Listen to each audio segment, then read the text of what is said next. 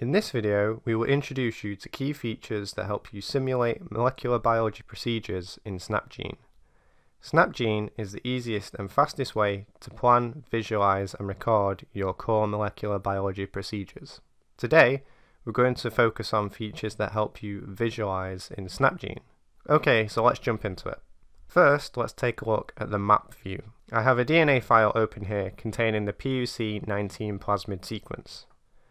Because this DNA sequence is circular, I can change the view from circular to linear format for ease of viewing by selecting the Show Horizontal Map button.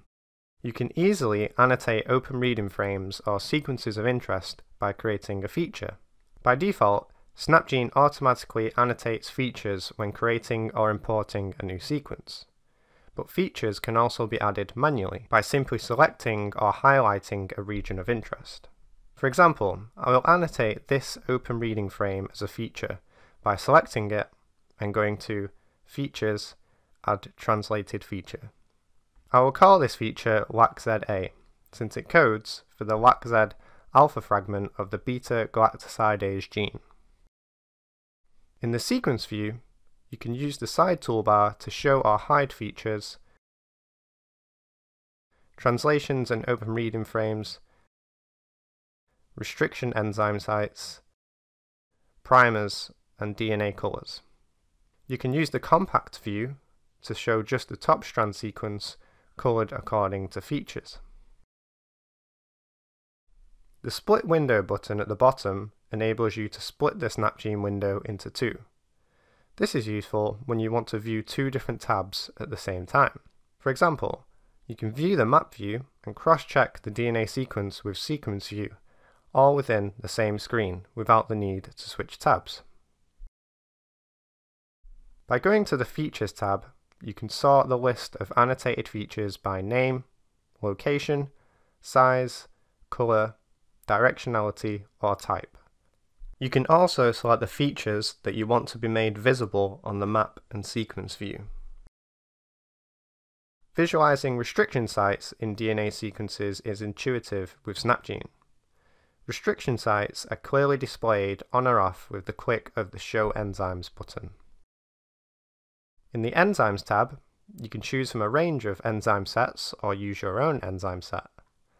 Cut sites can be displayed as numbers or lines and sorted by name or frequency. As well as enzyme and features, SnapGene also defines primers that can be created and highlighted. Primer binding regions can easily be seen in the sequence view. You can even change the primer colour by right-clicking and selecting Primer Colour. To learn more about the primers in the file, head on over to the Primers tab.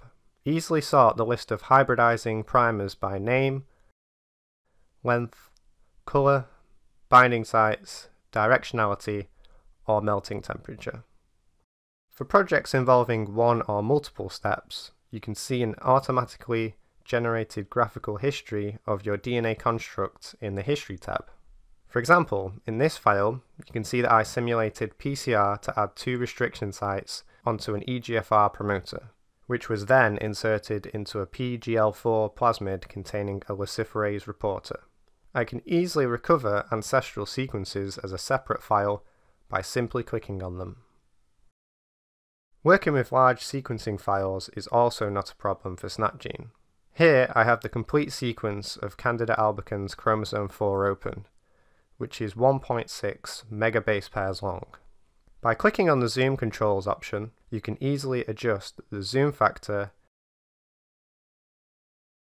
and sliding window display using the versatile controls to quickly navigate around the sequence.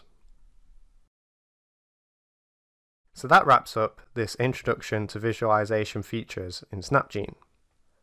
For more information about simulating genetic manipulations such as PCR and cloning in SnapGene, check out the other tutorials on the SnapGene website. If you found this video useful, please leave a like, it really does help support the channel.